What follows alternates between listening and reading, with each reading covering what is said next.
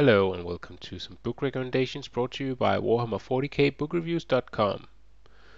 Now, the warp is one of the defining elements of the Warhammer 40k universe. It's a parallel dimension that is home to chaos and where the impossible is reality and trivial things such as time and space get bent over and are dealt a thorough spanking by the godlike entities that dwell within. Through the power of the warp, the Psykers of the galaxy can tap into a sea of awesome but extremely volatile and dangerous power. Its presence is a constant threat to the Imperium, yet it is also vital in keeping the sprawling Imperium intact, as travel through the warp is what allows ships to move faster than light. This powerful and treacherous force is one of my favorite aspects of the grimdark Warhammer 40k universe, and if you want some reading material that excellently uh, demonstrates the lure and power that lurks within the warp, then I highly recommend reading uh, these books. Firstly, A Thousand Sons. The Thousand Sons were originally an entire legion of space marines that were all powerful psykers. They were capable of amazing feats, and their Primarch Magnus the Red was perhaps the greatest psyker in existence, bar the Emperor himself. In this Horus Heresy book, we get to see this astonishing power unleashed against the foes of the Imperium. The Thousand Sons go to war in a frenzy of psychic fire, mind shields, and with the ability to see into the future and divine where the enemy will attack. It's a truly exemplary demonstration of how the warp can empower a psyker in battle. At the same time, it's of course also a history about the dangers of using the warp and about the price of arrogance.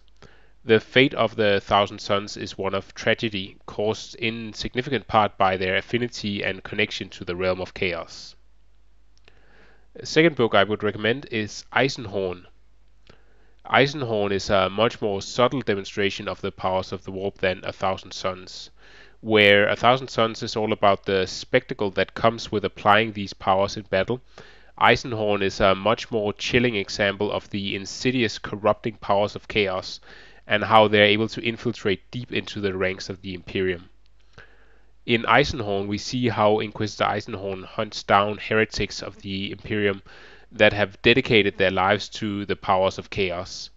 It's a great showcase for the internal danger that the warp represents and how the corruption of the Imperium citizens is at least as big of danger uh, as any demonic manifestation. Furthermore, it's a great look at how the Inquisition views uh, chaotic corruption and how it can sometimes be a real challenge for any Inquisitor to avoid being affected by the corruption he lives to destroy. The last book I want to recommend is The First Heretic uh, what better way to experience the warp than by joining the Primarch Lorgar and his Word Bearers Legion as he first discovers the true nature of the warp and its insidious inhabitants? The story of the first heretic is one of the slow discovery of what really lurks inside the warp, at a time where the common understanding of this realm was that it was merely a parallel dimension that harbored no more dangers than the cold void of space. It's a tale of how the first Space Marine Legion discovered the Chaos Gods and subsequently fell to their corrupting influence. The great horror of the first heretic is witnessing how Lorgar yearns to find true divinity in the galaxy after he has been uh, thoroughly chastised for proclaiming the Emperor to be a god. This is a story of a pilgrimage into the heart of the warp and the beginning of the spread of a sickness in the mightiest weapons of the Imperium a sickness that eventually sparked the civil war that in essence resulted in the Imperium as it is in the 41st millennium. So those are my three recommendations. I uh, hope that uh, you will check them out.